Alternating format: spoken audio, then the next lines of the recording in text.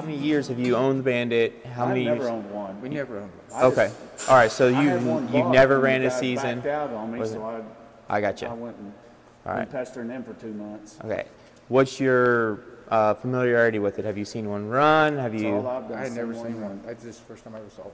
Okay. All right. Alrighty. So. Actually, the first time I saw one was when y'all loaded that 100 yesterday. Okay. That was All the right. one. All right. Well, that just kind of helps me. I don't want to Okay. say stuff you already know. I don't want to, you know what I'm You're not saying? gonna bore me. If you Yeah. guys are like well seasoned, I'll start with more advanced stuff. But I need 101.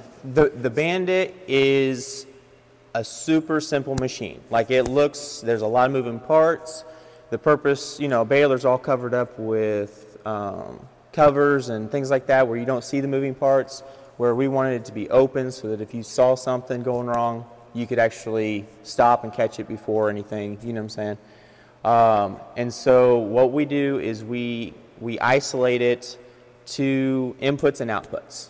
The machine asks for something. Once it receives that information, it asks for something else. And so your biggest um, hurdle or learning curve to this machine is knowing um, how the machine thinks. And so um, your front electrical box here, you got your, your banding box, electrical box, and your front uh, electrical box. And these boards are identical. Um, the only difference is they, when we program, we program with two different programs, a master and a slave. And so if there is a component that gets burnt out, or there's just some tech support that we want to do as far as to isolate the issue, I can tell you to pull this board out, stick it up there, and take that board, put it here, flip a few switches, and that now becomes the slave, and this becomes the new master.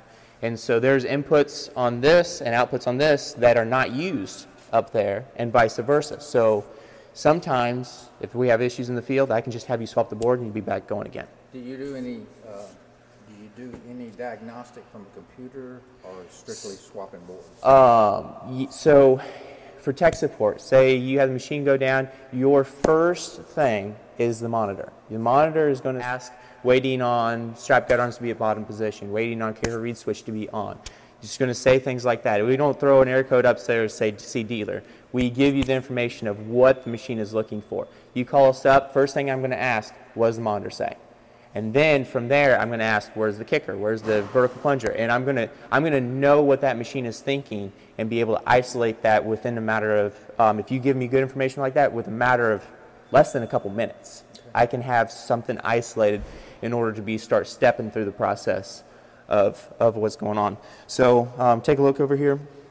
You've got red lights, which is your inputs. That is the information that is the machine is telling the computer. Okay?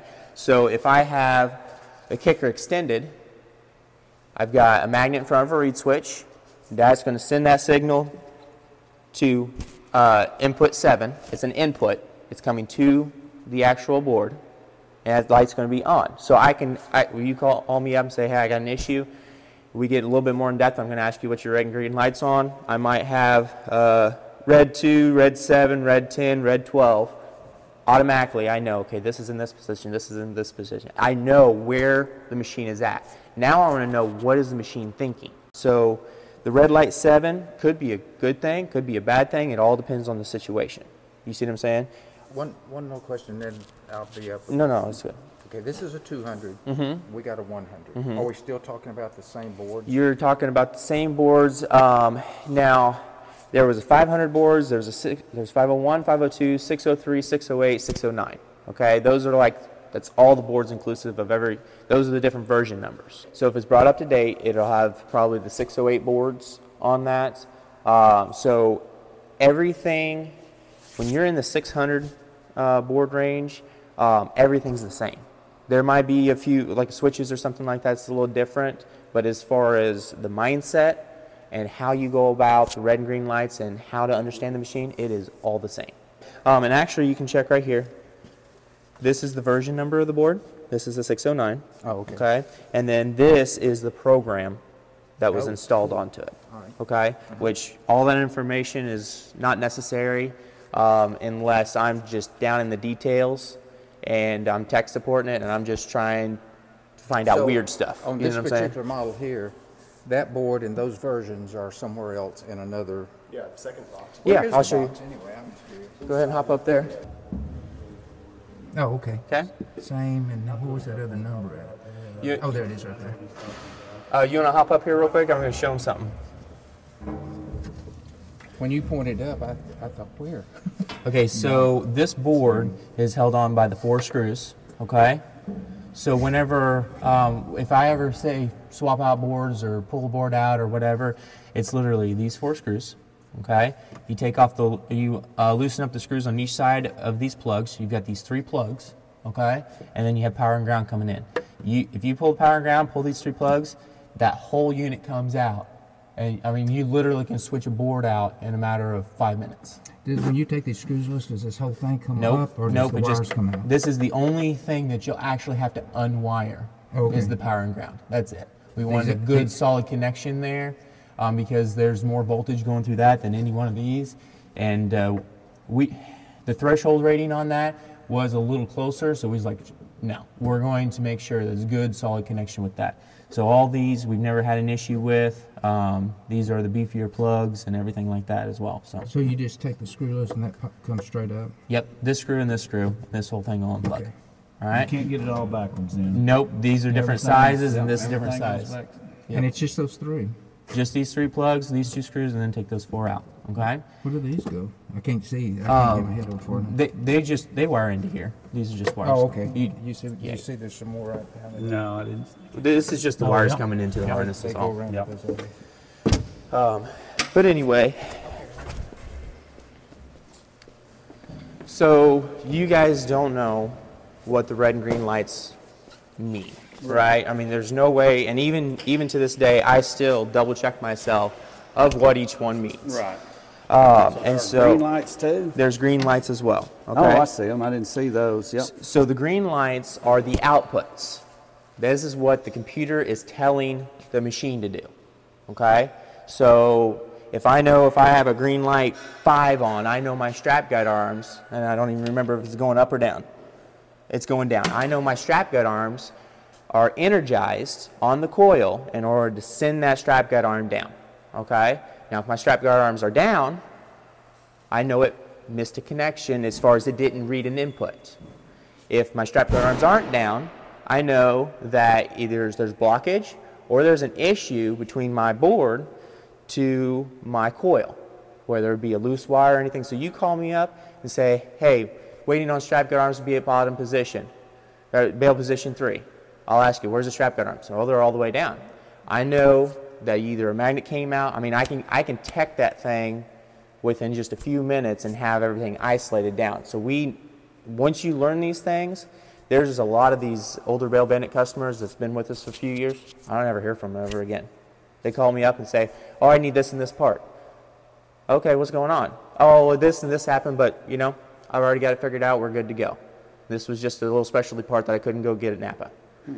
Another thing with this, your bearings, your bolts, everything that is possible to be standardized, we standardize it. And if you call us up, hey, I need the SAE number on this bearing.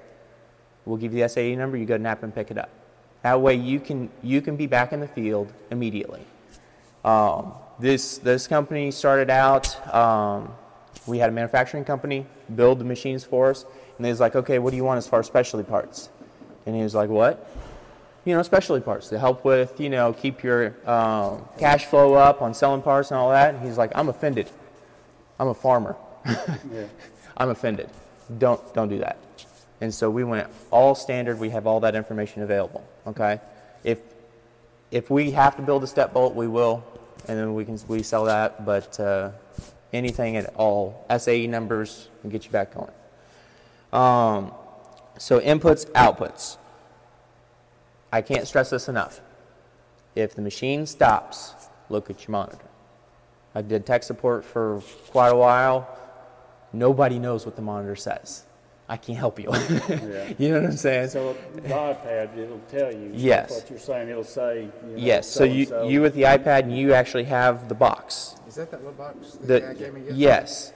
Um, I didn't, I didn't, I just put it in the truck. I didn't even know what it was. that is going to be your lifeline.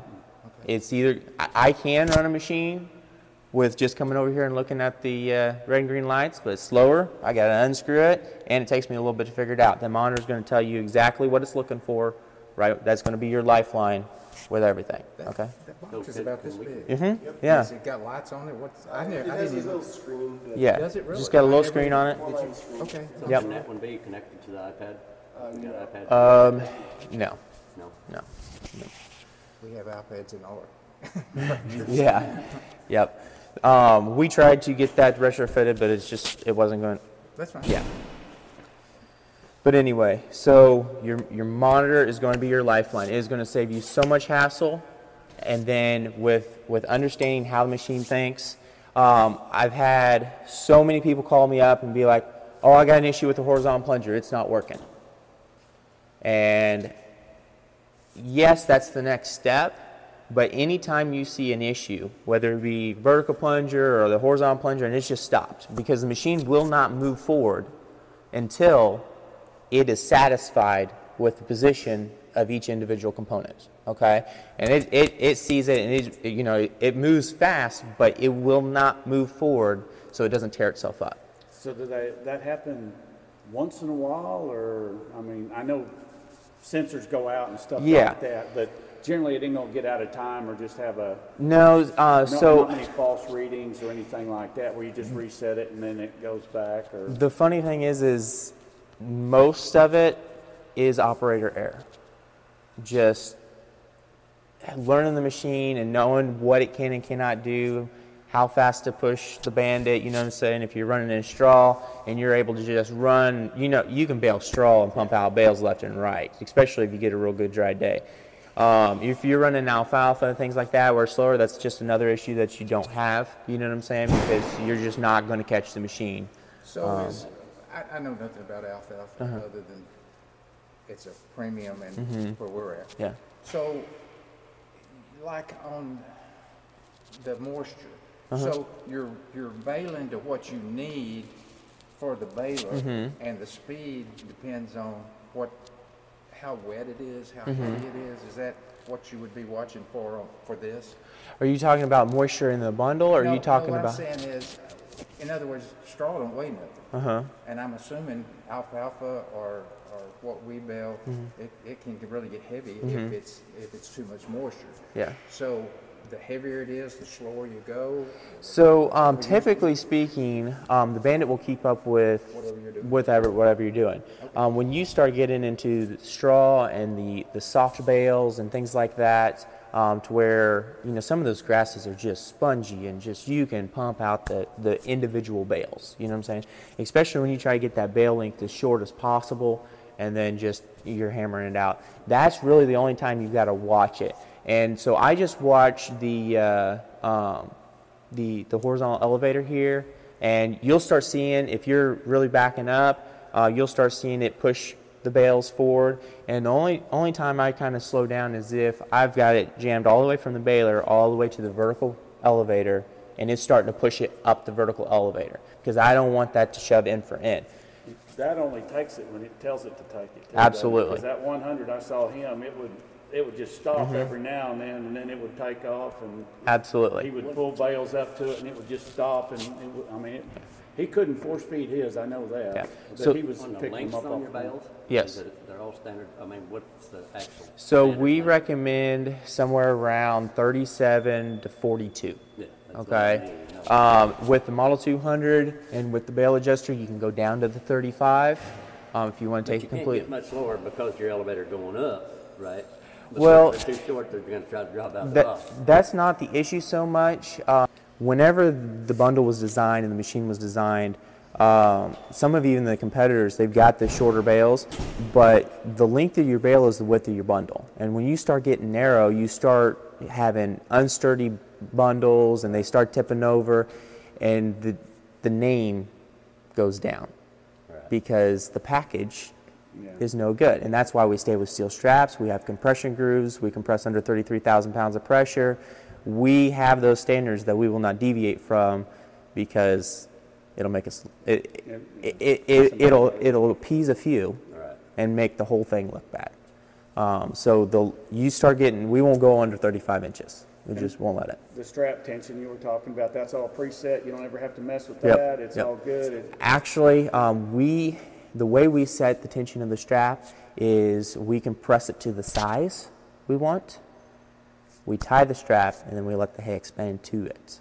So um, that compression, um, we we adjust that size. We've got a, uh, a valve up there that we can loosen and tighten, and so whenever the horizontal plunger compresses, it has a relief valve allowing the back gates to adjust to the size that we want on that. It's based off of pressure. So it should never be too loose or spongy or, Mm-hmm. yeah. unless your hay's Trash. thirty pound bales or something yeah, like that. yeah. That's what I was wondering, what, 65, 70 pound bales, what you, I've got guys running 40 pound straw bale. Well, Yeah, okay. straw, no. Well, y- yeah, I've had them run way lighter than 40 pound straw bales. Um, but yeah, if you're figuring hay, 40, 50 pound bales, I got people doing it all day You're long. more- Density is probably what matters more than anything, doesn't it? Just the Yeah, and pack, it as long as they're because when you go solid enough to. As long as your string's not coming off the corners, um, you can have actually pretty flexible bales and it'll still take it.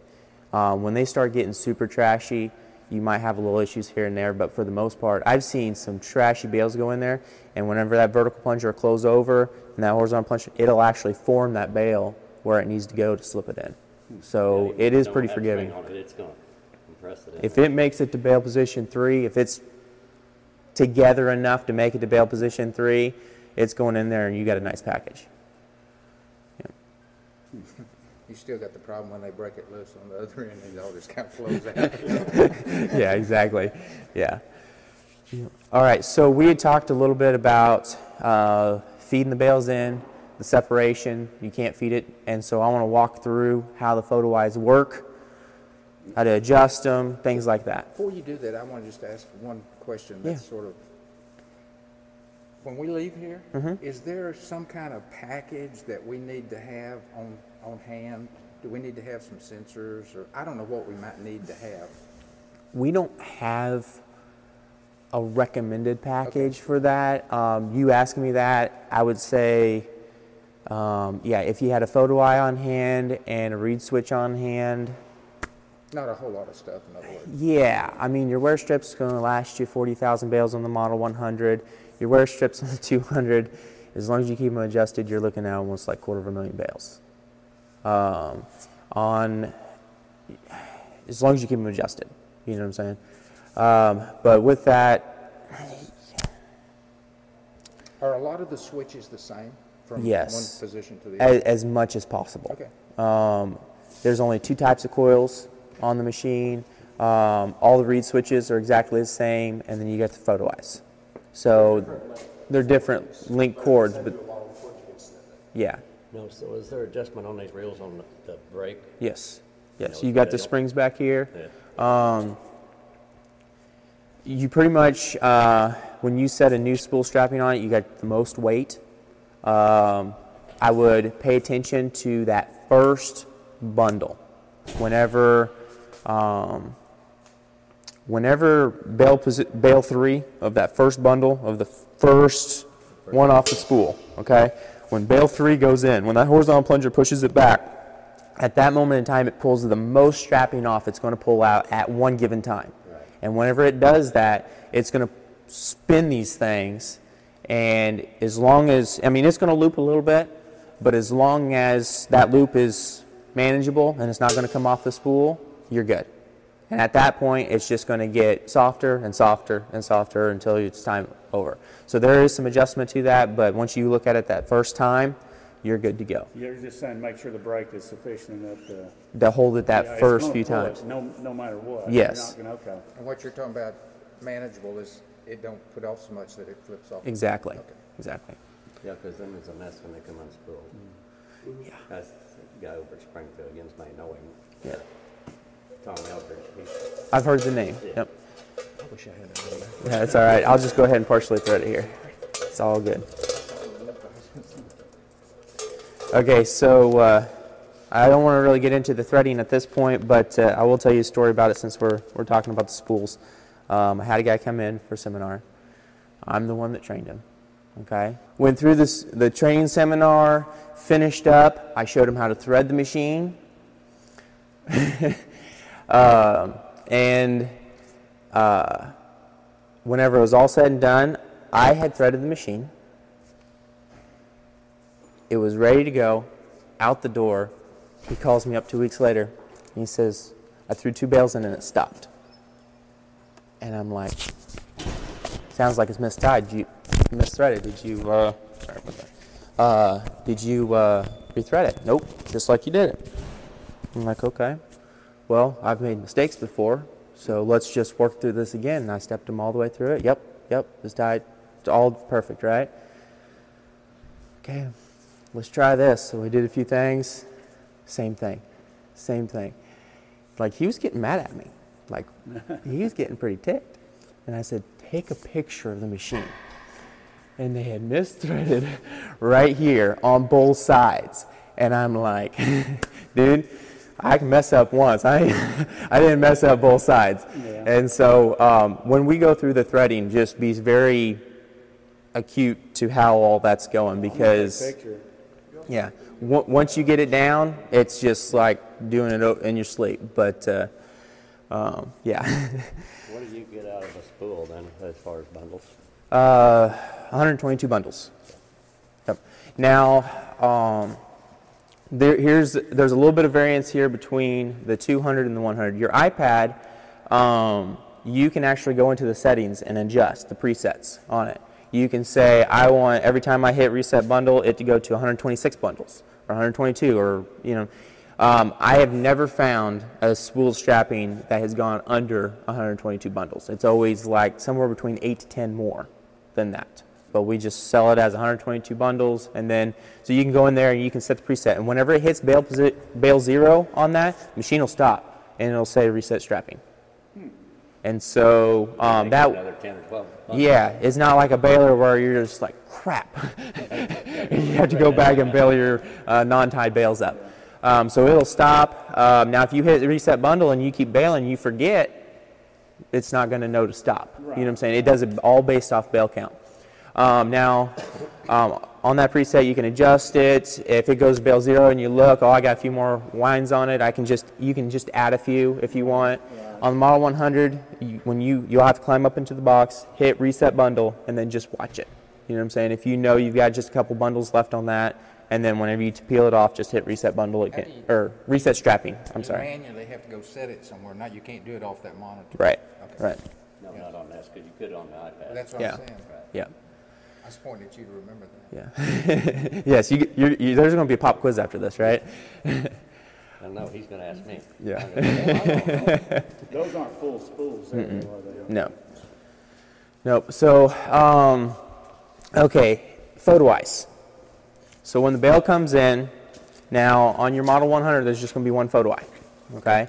The reason we extended this was because um, when we sell the machine, we state that it, um, a Model 200 will take a bale every uh, five seconds.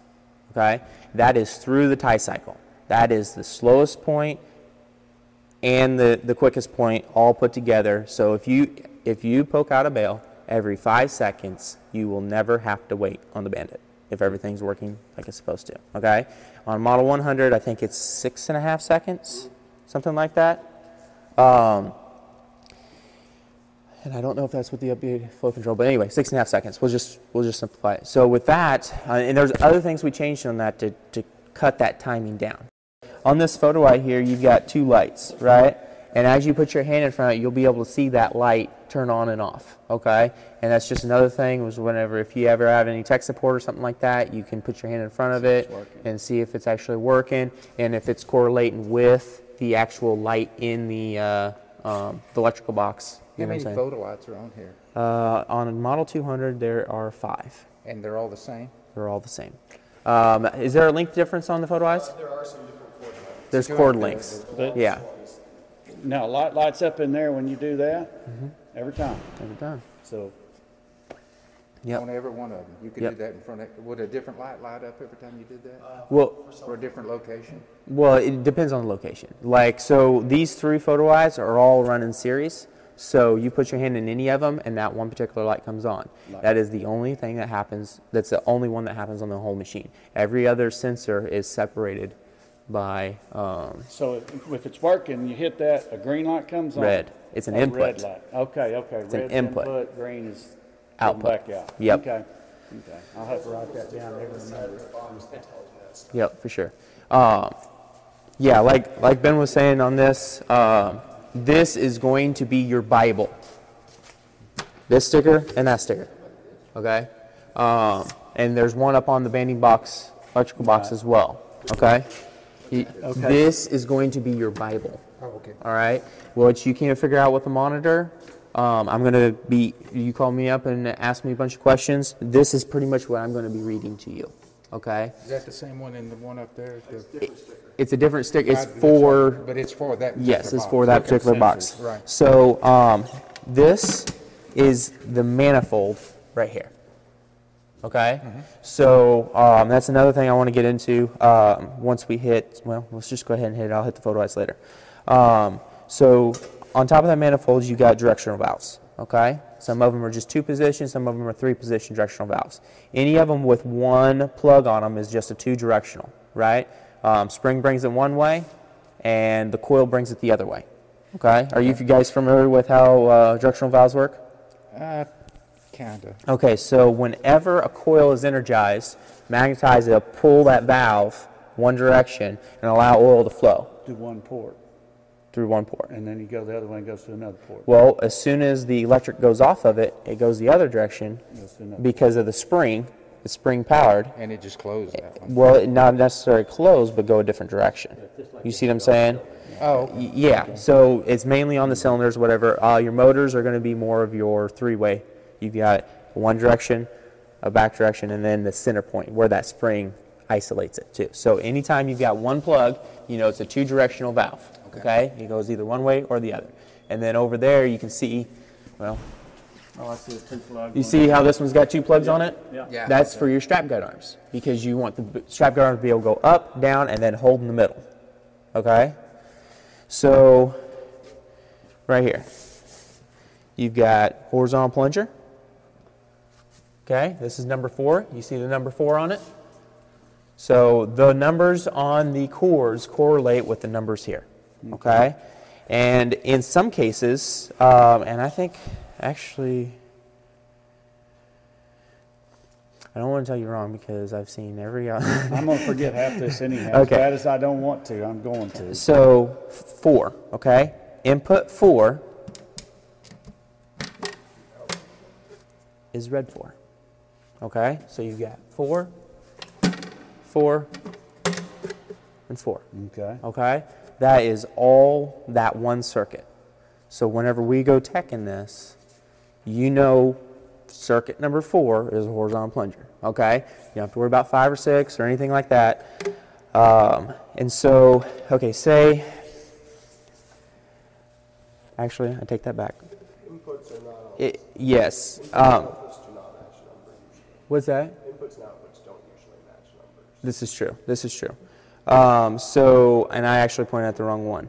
Um, when green light four comes on, am I getting that right? Uh, horizontal plunger, solenoid. Okay, I'm right on that one. Um, green light four, whenever that light comes on, I know that I have power to this coil. Okay?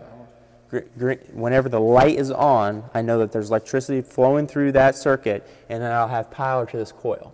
Now, at that point, I can look and see that the energized state, the one that has power, that horizontal plunger, is going to be pushed back. So this horizontal plunger is extended right now. If I was to plug it in, I'm going to know that green light 4 is coming on because it's the energized states.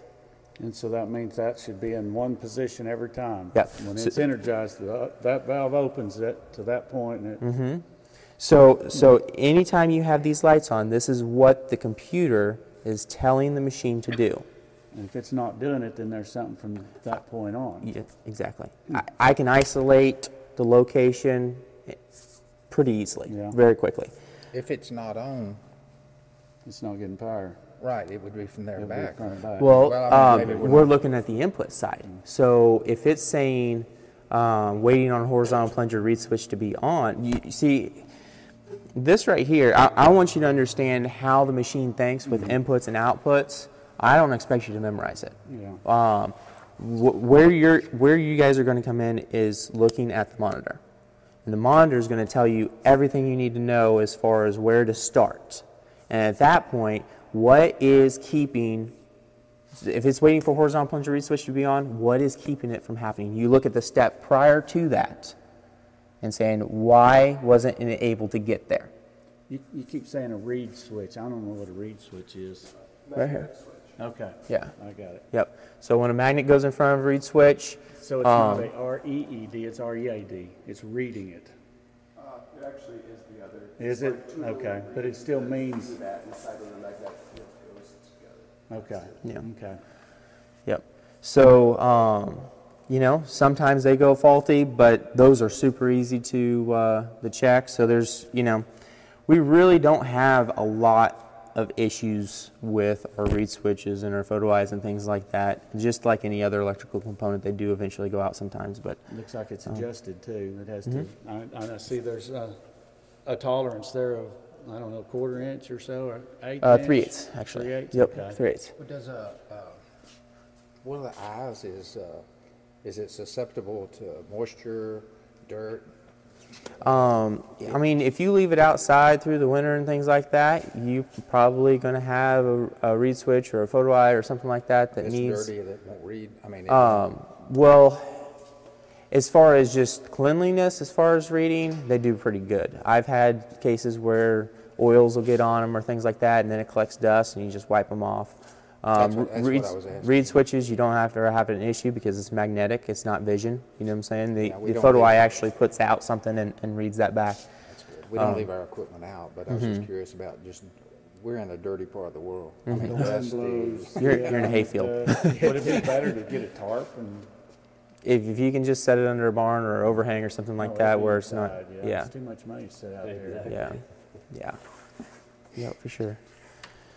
So, um, but yes, this is going to be your Bible whenever it comes to understanding how the machine is thinking. And all the rest is simple. I mean, it receives an input, it gives it an output, it performs a task, it gives electric to a directional valve, that coil energizes, it shifts it, it does it, it sees it, it disengages it, it opens back up, it asks for the next one. Each step it just goes from one step to the other to the other. Sometimes, in a few instances, once it reaches this step, it does two steps, but very rarely does that do that, and it just it just goes from one step to the next, and it flows. So anywhere that it does not read or understand the next step, it'll stop and be like, "I need this." It's not going to sit there and tear itself up or anything like that. So does it have resets just to reset it? That's where you come in, huh? We call them. Okay, okay, so water 100, 200, doesn't matter. There's a box up in the thing. It says reset strapping, reset bundle, and it's got a toggle switch on it. Right next to the electrical box, setting off to the side. I beg of you, don't hit reset bundle except for very specific times. Okay? You call me up and be like, hey, this didn't work, this didn't work, but I cleaned it out. Did you hit reset bundle? Yeah. Bail until it gets in the failed state because I can't help you. Once you hit that reset bundle, everything clears. It goes back and it says photo one ready on a bale. Eh, you just you just erased all the information because it's no longer waiting for that input or output. It's waiting on a bale to come in the front door. So you gotta make So- it fail again. You got to make it fail at the end. Probably take a picture of error codes when they pop up at this point, since you have a camera in your pocket anyway. And then when you call us, and you can't remember what the error code says, you can just look at it. Well, it's one thing to do, but here's the thing. If it's not in a failed state when you call me, I can give you ideas. Yeah. But when it's in the failed state, I need to, you know, I'm going to be asking you specific questions at that current position because I've had guys, well, I did this and this. Well, that don't help me out a bit. You know, I have to have it in the failed state, and it just makes it so much simpler. I'm gonna go back to what you said, that these guys, after a short period of time, they knew what was going on. Mm-hmm. So when this thing fails, rather than reset, that's when we call reset. And you, it- till we learn why it did that. And then, is that when these guys start not calling you so much? They, they're when, learning. the, they'll literally they'll look at that and there's just a few things that they've become accustomed to and uh, once they understand how it thinks Then we- it, it opens up pandora's box of when other things happen you're like uh, you know what i'm saying it, it isolates cer- certain sections of the machine What's your biggest call, like on these two hundred? What is your biggest, the most common thing that you, is there anything in particular, or is it just? Operator error, which is the most operator error. i don't know um, they come up with all kinds of fun things to call me with um, So there's nothing you, know one thing that you can say to watch for? You know,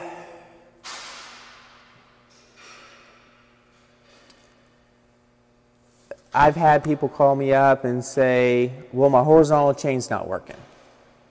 What does the monitor say? Well, I don't know. Well, look for me.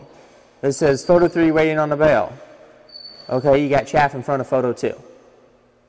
I'm like, well, how'd you know that?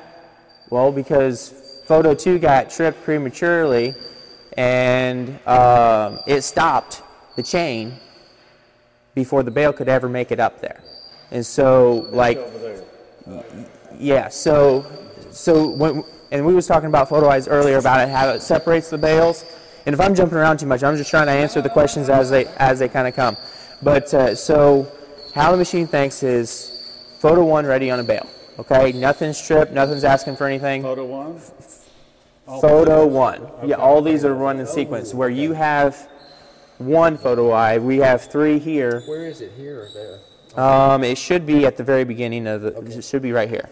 Um, and the reason why is we want, with this being storage, we didn't want a bale stick right here and it slow the process down because it's not processing it because you haven't baled the next bale to push it to this photo eye. So we wanted to make sure that there was no empty spaces in between. That's why we ran all three and then ran them in series. And that other one's short, so with it being in the middle. You're not going to have go- two bales. It's either going to take the bale or it's not going to take the bale. Yeah. Um, so, photo one ready on a bale. Okay, that's nothing. It is ready for a bale, right? There's no process needs to happen. Right. When it trips photo one, both chains come on, right? And it runs and it fills it up until it's in the vertical position to where the second photo eye, photo two, all three of those are photo one. Right, Okay. right. The second photo eye is photo two. And that's it right there. Yep, that's it right here. Okay? Is that the same on the one hundred? Uh, All the photo eyes are the same. Yep. I know, I mean, it's in that position. It's in that position, yes. I just, uh, this is about reset. So we're down. Mm-hmm. What is the, and I realize y'all have regular business hours. So under normal circumstances, we call and you'll call us back, or how does that normally? Um, so if there's not someone that answer, leave a message, give a kind of a brief, uh, what's it about type deal.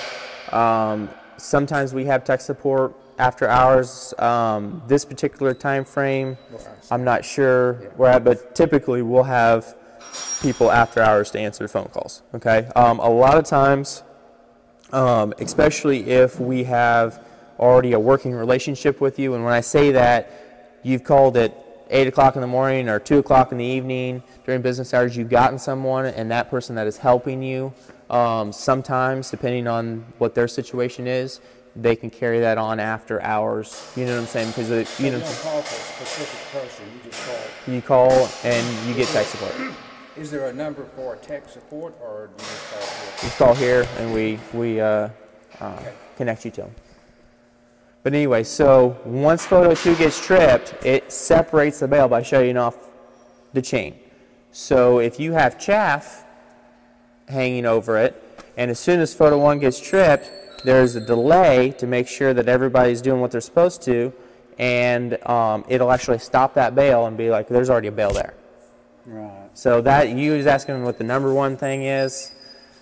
So should a guy every day maybe walk by here and just take his, a rag or something, just bump it, you know, wash it and just, It's not a huge deal. I mean, I'm talking over hundreds of machines, and I, you know, we get the phone calls. so So, it's just maybe if you had a broke bale or something, or just something fell Yeah, that's- and got in the way, you know. um, if you do get a broke bale or something like that, just as long as you get the big chunks and everything kind of cleaned off, it's it's not too bad.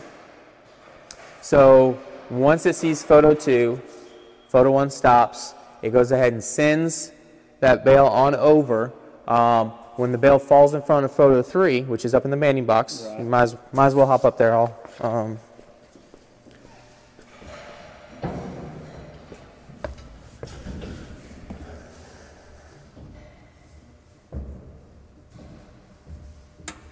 so photo three is right here. Okay. And it's shooting through the hole here. Um, once it sees photo three, uh, the kicker will kick over, centering the bale. It'll kick it all the way over, so wherever you have this set, or uh, you know, e- even on a Model 100, they don't have these, but the kicker will kick it all the way over. Um, once that kicker kicks over, vertical plunger will tip over, and both the vertical plunger and the strap guard arms will go down. The, the 100 don't have what? That This, adjustable this piece? adjustable piece right here. Um, we can sell you this piece if you wanted to cut the slots and whatever and put it in, but uh, what, what's your length of bales? Whatever we, I can set it wherever we need it, so. I Okay, can all set it- This is only for people that really want that, that have to have that 35 inch bale. You know what I'm saying? No, we're gonna go probably thirty-eight. That's perfect. That's actually right in the middle of the range, and you're good to go. So uh, when the kicker kicks it over, vertical plunger closes, and both the vertical plunger and the strap guard arm go down. Uh, vertical plunger comes. Where's the strap guide arms? This is the strap guard arms right here. Okay, so you that's, the this here? straps will run through it, right? I can scoot over here, well, let me just. No, no, oh, I hate for you to do that. Here, um, and I can hop up on top of. on. Yeah, we're not, we're not, not doing that. So So where's the, these are the strap guard arms, okay? And see how they're running on that carriage right there? yes. Okay, now yours is gonna look a little different. It's got different types of wear strips on it, but it has the same purpose. Still gonna have, see that roller out there on the front? Um, so the strapping runs in the strap guard arm. where is this, where is this uh, wear strip you're talking about? Um, I mean, can I see it? Yeah, well, looking at it. so this is the strap guard arm carriage. Okay? Mm-hmm. This is that's what actually runs it. So there's a wear strip here, there's a wear strip here, there's a wear strip inside. Um, so And that- yours is going to look different And than it's gonna be replaced every 40,000 bells? um, Are we talking about these bells or? individual bells. Individual bells. That looks like a hell of a lot of work. Well, um, on the ones on yours, they're actually just two pieces and they're C pieces, and you just take the bolts out, drive one down, put the new one in, drive the other one down, put the new one piece in. of neoprene or something? Yeah, Yeah, Yeah. this, yeah.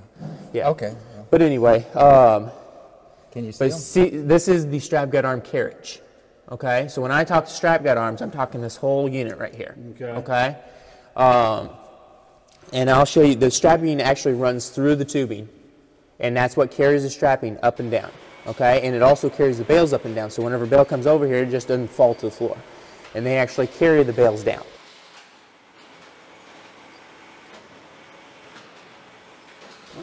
And then also the strap guard arms act as compression grooves.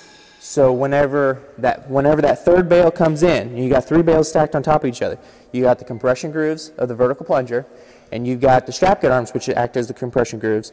And when the strap guard arms go to the floor and the vertical plunger presses down, it compresses. It doesn't cut. It compresses the hay right where that strapping lays, and then it slides it back on the rails. And you'll see the rails in the back of the chamber. And so that makes that extra dense right where that strapping lays. Okay? And you said the wear, is that these uh, The- nylon looking? Yeah, so you've got the nylon bolts here, and then you've got the metal bolts here with uh, nylon inserts. Okay? Oh, okay.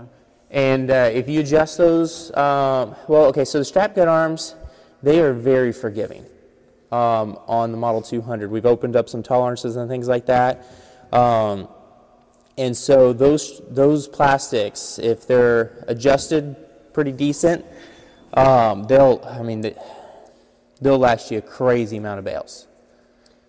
Can I ask you a safety question? Yeah. Uh, where he's standing, Yeah. straight down, there was, looked like an emergency stop button. Mm-hmm. When you're coming up here, do you need to, what do you need to do before you crawl Okay. up here and you're in the field?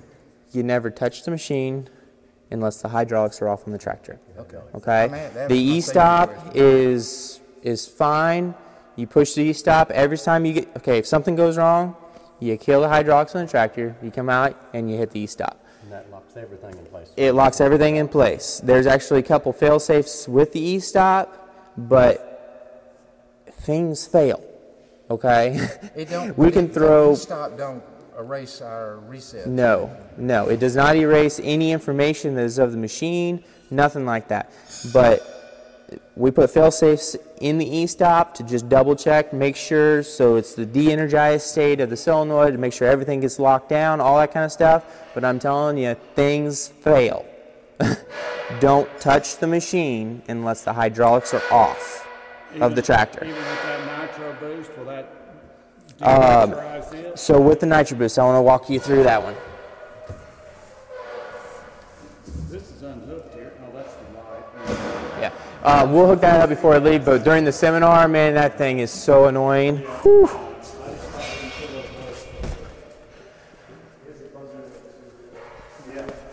Okay, so uh, take a gander down here real quick. So this right here shuts off the machine, right? This acts as an e-stop for the nitro boost. Bang, bang, Yes. and bang. Three. One more.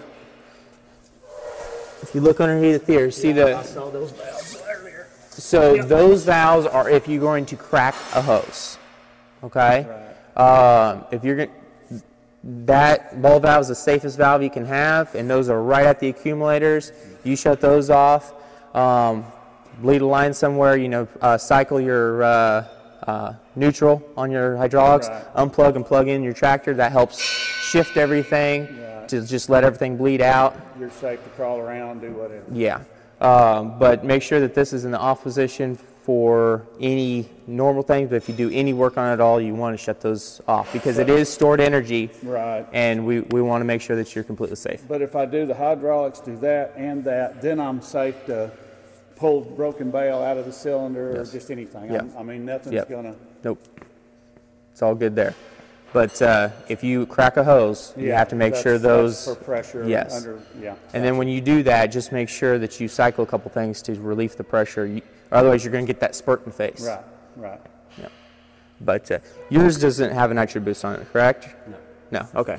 No, I think Rona had that added to it. I don't know. I just don't. I'm seventy-something years old and I brought all this with me. I want to take it. yeah, yeah, yeah, for sure. But anyway, um, We'll look at that. I don't know Yeah. if we do or not. and now I'm gonna like. Uh, can you check for me to see if they've got an nitro boost on their machine out there? Yeah, he, he had something because his tractor wasn't big enough. Okay, sounds about right. something That sounds about right. To change the flow. you know. Okay. Well, he's checking on that. Is that a restroom? Yes, uh, second door on the right. Or go out the door. Pay attention. Well, I'll wait on the nitro boost part of things until until we find out for sure because. Uh, um, uh, what tractors are you putting yours on? I've got a one thirty-five Kubota and it's only got like 18, 19, Okay. What's the horse on that? one thirty-five. Oh, It just doesn't have the, doesn't have the flow. doesn't have the umph. Yeah. Uh, none of the Kubotas do that I looked at. I've been on, I've been, I'm gonna get another tractor too. just Doesn't have to- the nitro boost? Okay. Well, I'll go ahead and uh, say this. does or don't? He says it does not. Um, so I'll go ahead and say this um, because, I mean, it doesn't really affect him at this point.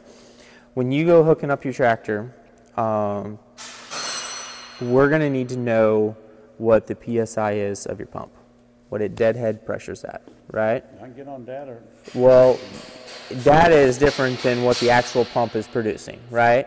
Um, and to get the most out of your nitro boost and everything like that, um, we're, we'd like 3,000 psi. Some of them are I'm 2850. it's like twenty-eight fifty. Okay, On data.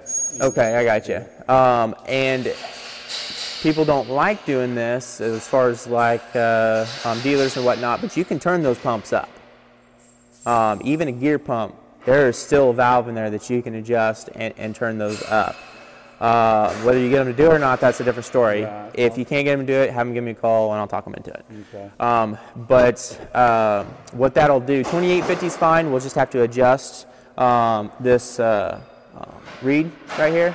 I, the words lost me of what it's actually called, but uh, the dial. um, and we can adjust. So what it does is it, on there's there's piston pumps and gear pumps, right? Piston pumps is a displacement pump, whatever it needs, or it stops, right? It'll only pump what it needs.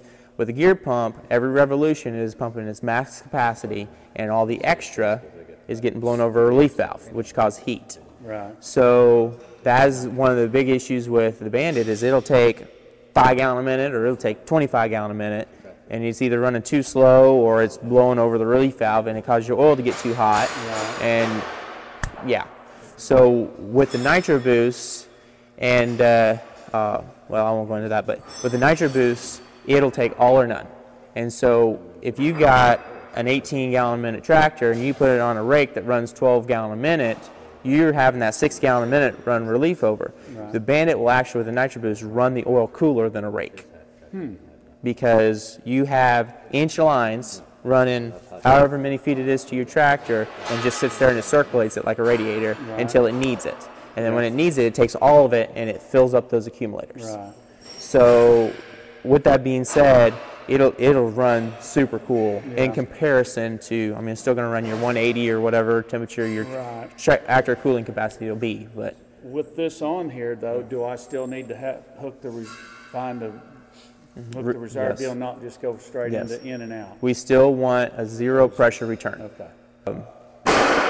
But yeah, so what, whenever that uh, that takes that oil, uh, what we don't want to do is blow over that relief valve, and so we set the pressure uh, 50 pounds below what your tractor will produce. You see what I'm saying? Can you pull up, my phone won't load, can you pull up the Kubota? what- I mean, you, Well, the thing is, is I think it said what you have is- twenty-eight fifty. yeah. The, the thing is, though, is you're going to actually have to check it because I don't care if you've got 15 Kubota tractors lined up with all the same model, everything. Yeah. The valve's going to be set a little different. We're talking 50 pounds here. You know what I'm saying? And then I can call you and you can tell me how to adjust that if I need to. or Mm-hmm. Yep. It also explains in the mi- Nitro Boost manual Yeah. So I'm getting a manual too. for, for the both the Nitro Boost and for the. machine. Okay. Yep. Yeah, for sure. Thoughts, because they really came up. So um, a little something that's different on the 200 than 100 is you've got this uh, uh, manual shift out valve here. So say photo 2 got tripped or you have the busted bundle, hit the e-stop, you're over here, you're, you're cleaning the, uh, um, the hay out, whatever, right? You're not in the machine, but you're here cleaning the hay out, whatever, cut the twines of, you say, one tie missed or whatever. And uh, you've got a uh, bale here, but photo two's already tripped because it chaff went everywhere and everything like that, right?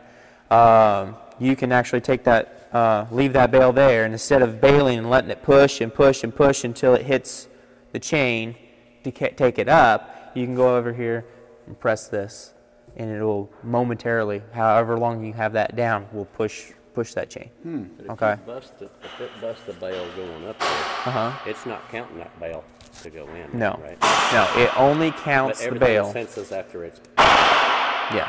So once it hits photo three, that's when it counts it. Yeah, it's Whether it's completely out. processed it or not, when it hits photo three, So- that is our So surefire when I way. get jacked up here with the broke bale, I can just go ahead now and throw another bale up and we're still on time, we're Yep, still all good. for sure. Good. But So- if some of it blows over there, Yep. then I gotta look and see if it's counted it on the monitor and then come back here and, you know, three, six, nine, ten. Well, 12. here's uh, the nice thing is, is you'll find out real quick um, where the bundle's at. Um, okay, so the problem is never three deep. You know what I'm saying? It's always you have an issue that stops. So you can look at the strap guard arms, or you can see how many bales are in there. And if it says seven, I know there's uh, only one bale in that tier. Right. And if it says nine, Right. then I know I got to get a bale in there before it pushes it back. Right. You see what I'm saying? Yeah. So uh, only time I've ever really seen, um, and I've done it a couple times. Um, only time I've ever really seen it get up there and bust is one if it's just a super super ratty bale and it was about to slip off anyway, or two.